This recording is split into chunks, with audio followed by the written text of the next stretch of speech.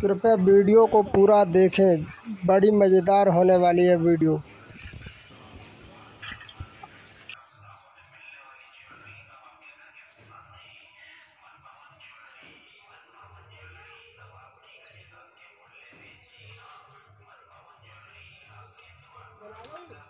काट दूँ?